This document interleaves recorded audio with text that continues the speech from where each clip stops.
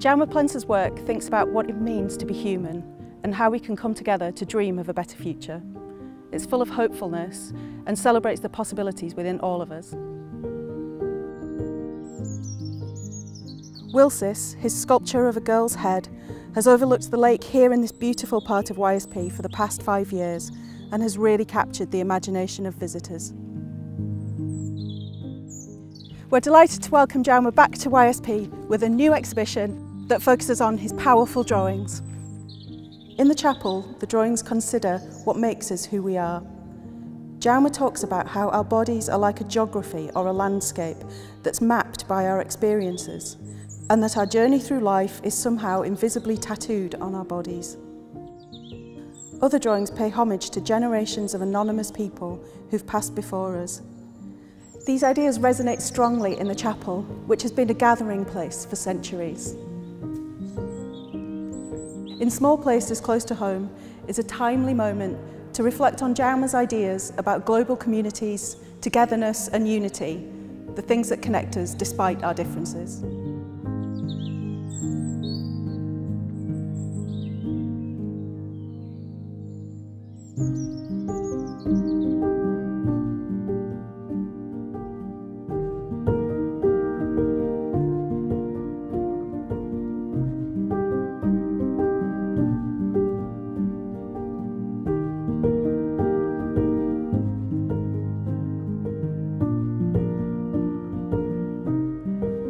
Jaume, welcome back to Yorkshire Sculpture Park. It's wonderful to have you here with us again in the Weston Gallery and the chapel. Thank you. It's 11 years since your last exhibition here, and this is a very different exhibition. Maybe start by telling us about these beautiful mesh heads. And I believe there's a relationship between some of the works that you showed in your last exhibition here with us. Yeah, it is. Uh, I, I said many times that the most important things in life are always invisible. And those pieces are paying homage to that concept mm -hmm. because I call them invisible. It's this idea that we, we can embrace the idea of a, a certain head anatomy, the portrait of somebody, in this uh, volume of the mesh that the 3D computer is developing exactly from the one scan. And, and that, I guess, is the true of one head or one person. No colors, no, no origins, no roots, no religions. It's just the shape of the person. And can you say something about the shadow drawings and the way that they're made up of these alphabets or figures, the letters that make up the figures? Alphabets are a beautiful metaphor about people and communities. Many times I said a single letter seems nothing but together with others. You can do wars, wars with wars, text, text with text, culture, culture with culture, etc. From the smaller to the greatest. The obsession in my work, especially in those drawings, was to create a gathering place in where everybody could join us. The diversity of alphabets is an incredible portrait of our world. I mean, making portraits of real people or using alphabets is probably the same is an homage to diversity, is a celebration of life. And these also relate to the piece White Nomad that's outside the chapel. That's it, yeah. And that takes that idea into three dimensions and the fact that you can actually walk inside that sculpture, mm. you feel almost embraced by that sculpture. Well, I, I guess in my concept, sculpture has been always not an object but an space in itself. I mean, uh, and, and I guess this kind of work is fantastic because it's inviting the people to penetrate in that space and to feel surrounded by the text and to look at through the text the wall. You, you know how many times I've been mentioning that for me the text is the partition of our voice, our music. And as a musician we are writing the partition in in, in a paper, whatever, and that it's uh, something that I could give to you. You can read my music, which is my voice. And, and those sculptures are celebrating that possibility like a big mom. They're invited to protect you, and poetically it's like a shelter that protects you about the mosquitoes of life. I think that links us really nicely to the works that we can see on the wall behind us here, the Face series, because these are anonymous faces. We don't know who they are. We don't know when these photographs were taken necessarily. But each person that's shown is someone that's important as an individual. And you've also paired those faces with excerpts from the Universal Declaration of Human Rights. Yeah, but uh, since always I consider the, the Universal Declaration of Human Rights one of the most beautiful poems that people did in life.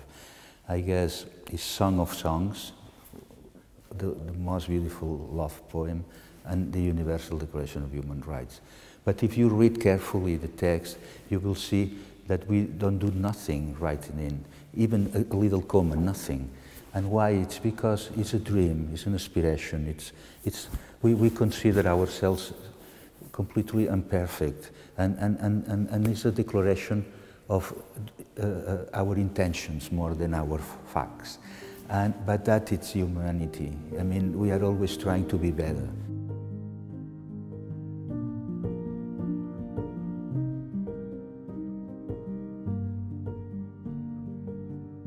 The works behind you, um, the glass pieces, again, it's, they're really interesting works because they're involving drawing, but they also move into three dimensions.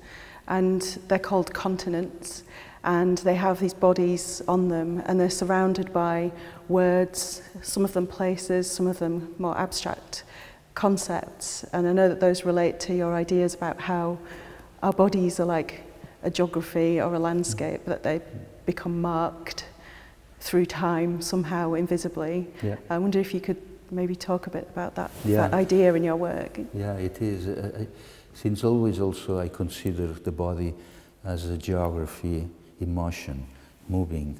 With, we, we have a, a perfect, very well defined borders, things that we have to explore do, during our life. And I think it's an, a huge territory that we have to know better and better. We spend all our life in that way, in that direction. Because I could maybe lie when I'm talking about my soul, but it's hard to lie when I'm talking about my body. And, and uh, probably because I'm a sculptor, I uh, think it's very important to talk about real things. I mean, the body is the real thing. But you cannot imagine or talk about the body if we don't talk about the invisible part of that body, which is the soul.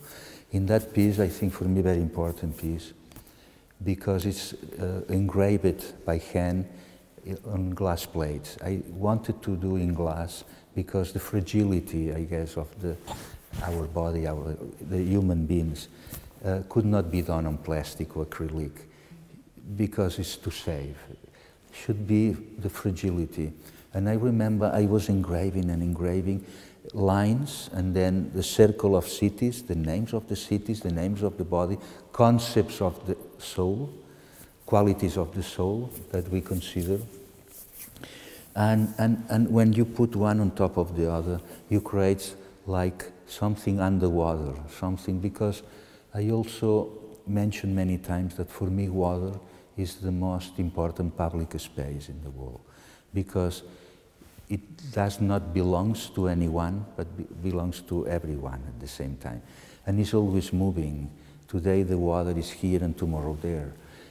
Water is the main public space in the world. And I've been working many times near or as close as possible to the water or in the water.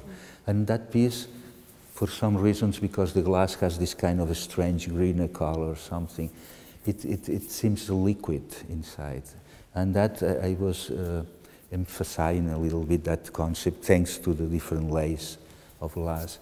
And then the very simple line, uh, which I don't know, probably represents very well, like a map, uh, like a card, a geographic map, our body. And there's a, something of a relationship between this piece, the idea behind this piece, I guess, and using glass and the idea of seeing behind something or seeing something from the other side or being able to see through is something that's really important. And I think that's where the idea of, of Wilsis that's um, sited next to the lake here at YSP, part of the concept of that piece, was it the idea of looking at a coin? Wilsis, I guess, is part of that adventure to try to understand the backside of the pieces. And it was thinking about the coin, when you see the face in the coin and how it looks in the other side. And, and, and then I decided to compress the volume, the normal volume of one face, one head. And, and I think it was beautiful because something so opaque as the cast iron becomes almost invisible because when you are walking around, this, the piece seems to disappear, disappear, disappear, and then you get back the piece in the other side again. I, I think probably for many people it could be hard to understand the connections between, I'm talking about the leather, suddenly it's a head, suddenly it's the glass, suddenly I don't know. Uh, but it's, believe me, we are always talking about the same, which is the diversity of different points of view of a human being. I mean, in function of the light, when the light touches, it changes completely our way to be, to exist, to look at our perspective. And, and many times I, I mention that the human being is like a diamond with facets, and in function of the light, it seems one or another stone. And, and my work, I, I'm trying in my work to, to talk about those facets, those kind of elements that one day somebody could understand as a complete piece. Thank you, Jaume. And I'm sure on behalf of all of the visitors that will come and see the show here at the Weston, thank you from them as well. You share so much of yourself in the work and I know that you have a very special place in the hearts of our visitors, in all of us here at YSP. So it's wonderful to have you back. Thank, Thank you. you. I hope people will enjoy the show because when they come into my exhibition, they will be part of my exhibition. They will be one more of my sculptures together with my heads. Thank you.